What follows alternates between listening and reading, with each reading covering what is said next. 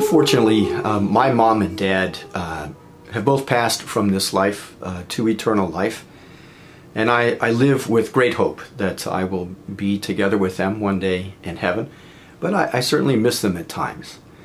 And one of the things that I miss uh, is uh, the family meal, uh, especially at my mom and dad's table. Uh, my mom really poured herself out to provide us regularly, uh, pretty much every night, with a, with a wonderful meal. And gathering around the family table was uh, so important to my mom.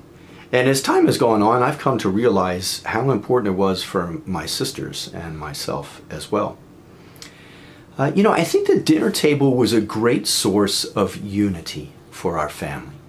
Uh, we found out what was going on in people's lives. We, we laughed together, we cried together. Sometimes we argued uh, at the dinner table. Um, but, you know, as a norm, uh, we didn't answer the phone. And that was just a real time of coming together as family. Uh, we had to swim against the tide in order to make that meal a priority. Um, I was very involved with a lot of sports and a lot of activities at school, and my little sister became very involved pretty early too. And uh, we all understood, though, uh, that in our house that evening meal was really important. Um, the dinner table was also a time for us to pray together. And our prayer wasn't long and it, it wasn't uh, super complicated, um, but we prayed. And we thanked God for the meal that was before us. And we thanked God for my mother, who, whose great love and great skill uh, provided those meals. Um, we regularly prayed together as a family at the dinner table. Another thing that I think um, is that that meal is becoming more and more important than ever because families are being torn apart by so many things and there's it seems like there's even more activities. And of course, there's social media and video games and, and a lot of things that are a great distraction to the family these days.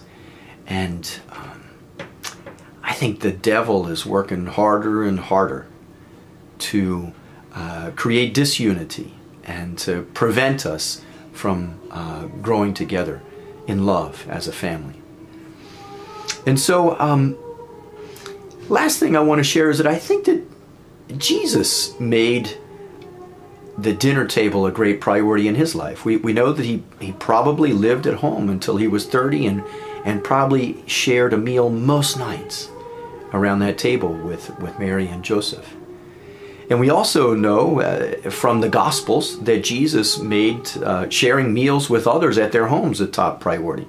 And so we saw him uh, head off to uh, Martha and Mary and to the Pharisee's house and to Zacchaeus' house and certainly the Last Supper.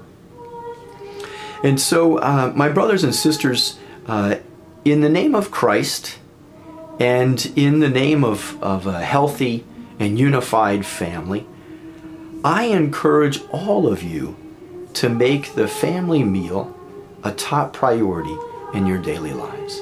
Thank you, and uh, God bless you.